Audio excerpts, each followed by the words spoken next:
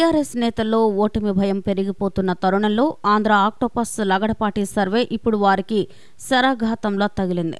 స్వతంత్ర అభ్యర్థుల విజయం తథ్యమని అధికార పార్టీపై ప్రజా వ్యతిరేకత పెరిగిపోయిందని మాజీ ఎంపీ చెప్పిన మాటలు వారిలో ఉత్కంఠ రేపుతున్నాయి.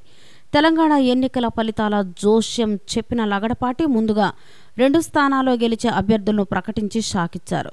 ఒకటి మహబూబ్ నగర్ జిల్లాలోని నారాయణపేట్ రెండవది ఆదిలాబాద్ జిల్లాలోని బోధ్ నియోజకవర్గం.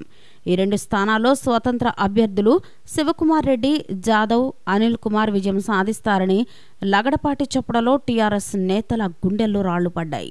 పైగా తెలంగాణ నూతన ప్రభుత్వంలో స్వతంత్రులే చక్రం తిప్పే పరిస్థితి ఉందన్న లగడపాటి సర్వే వివరాలు సర్వత్రా ఆసక్తిని రేకెత్తిస్తూ స్వతంత్ర అభ్యర్థుల్లో సంతోషాన్ని నింపుతున్నాయి.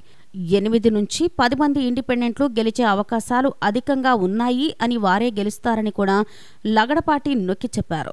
మరో అంశంగా ఈసారి తెలంగాణ ఎన్నికల్లో సంచలనాలు ఏమీ ఉండబోవు.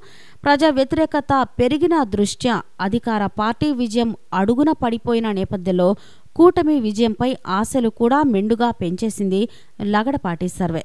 గతంలోనూ ఇలా లగడపాటి చేసిన సర్వే ఫలితాలు నిజమైన సందర్భాలు చాలా ఉన్నాయి.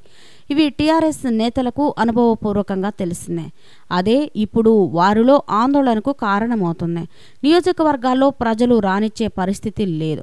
ఓవేళ వెళ్ళినా నిలదీస్తూ ప్రశ్నిస్తున్నారు.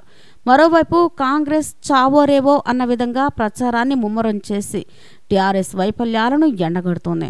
వారికి ఇప్పుడు చంద్రబాబు తోడయ్యారు. ఒకప్పుడు కాలం కలిసి వచ్చి ఉద్యమ ఫలితంగా ఏ కష్టం లేకుండా గెలిచిన టీఆర్ఎస్ నేతల్లో ఇప్పుడు ఆధీమ పోయింది. కాస్తో కూస్తో తమ విజయంపై నమ్మకం ఉన్న వారిలోనూ లగడపాటి సర్వేతో ఇప్పుడు భయం పట్టుకుంది. మరి కొద్ది కొద్దిగా అభ్యర్థుల పేరుతో సహా లగడపాటి ప్రకటించనున్న సర్వే ఫలితాలు అన్నీ విడుదలైతే టీఆర్ఎస్ నేతల పరిస్థితి ఏమవుతుందో? ఈ వీడియో కనుక మీకు నచ్చినట్లయితే లైక్ చేయండి షేర్ చేయండి ఇలాంటి లేటెస్ట్ వీడియోస్ కోసం మా ఛానల్ని సబ్స్క్రైబ్ చేసుకోండి.